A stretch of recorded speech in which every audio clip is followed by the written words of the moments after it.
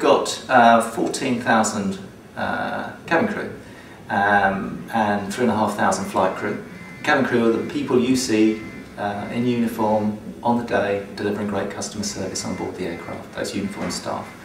They're not normally working together. Uh, every flight you see, those people are working in a team, they've never met each other, uh, and they're rostered to work together. They come together for a single flight or set of flights, uh, and then they break apart and work with other teams. They also live in lots of far-flung places around the world, and they, a lot of them are working part-time. So um, it means that they may be working for a month, and then not working for a month, and then working the next month.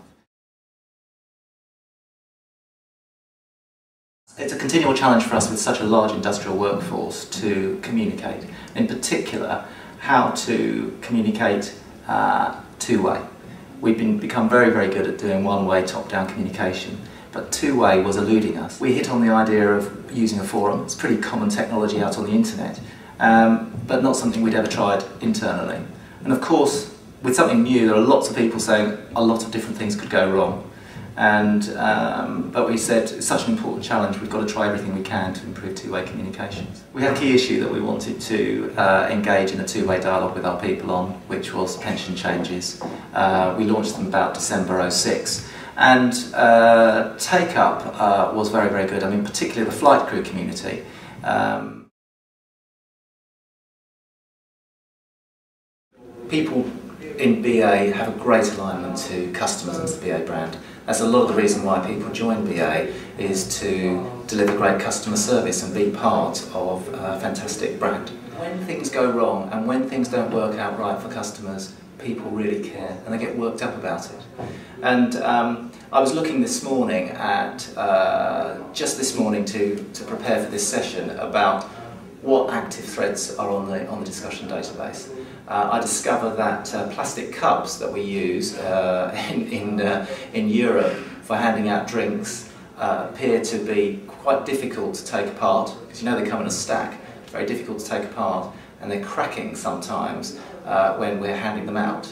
And um, a huge amount of activity on this just yesterday on the discussion forum. It's not good enough. you know, we need, to, we need to improve things and uh, the general manager responsible for uh, the cups is on the thread saying we have a session with the supplier tomorrow.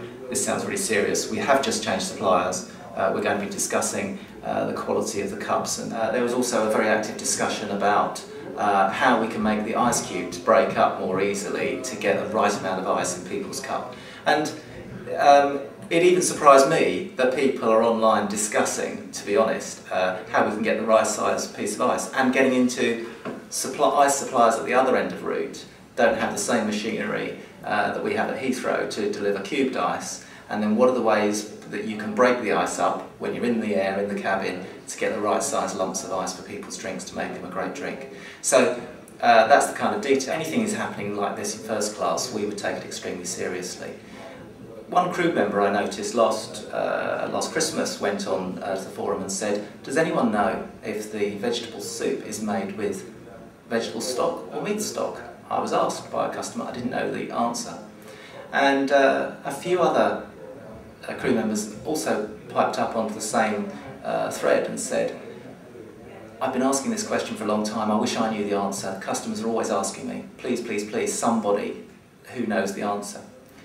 A few days later, uh, a catering manager went online, saw the thread and said, I don't know the answer either, but I'm going to talk to our supplier.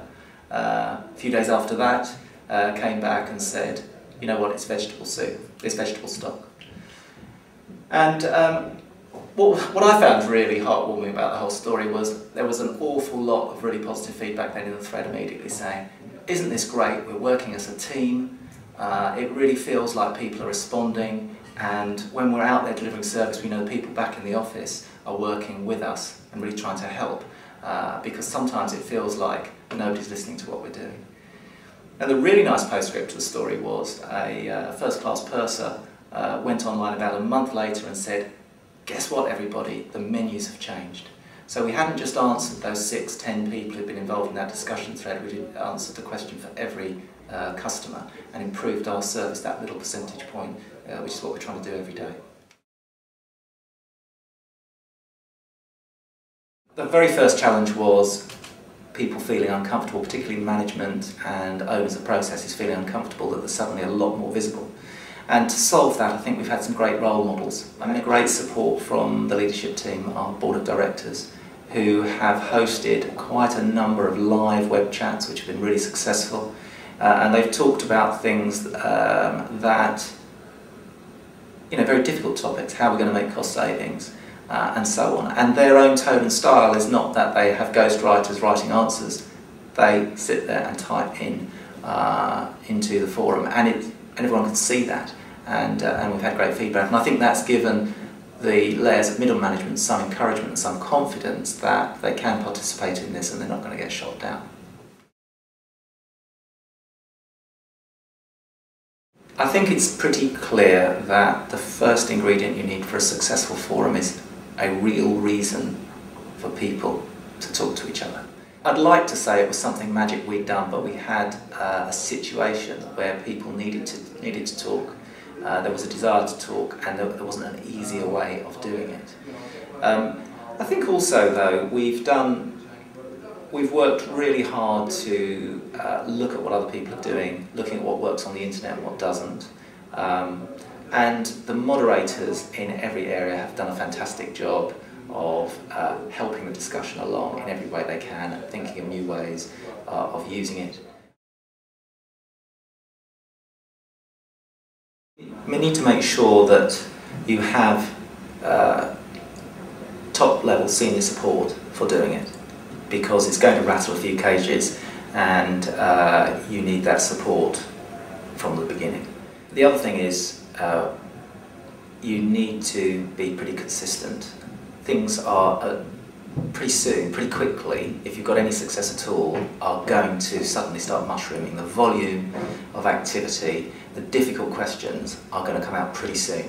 And I think the community, uh, if it's anything like our community, we'll want to test out the system. Okay, there's a two-way communication here, and we can, we can uh, ask anything and suggest anything.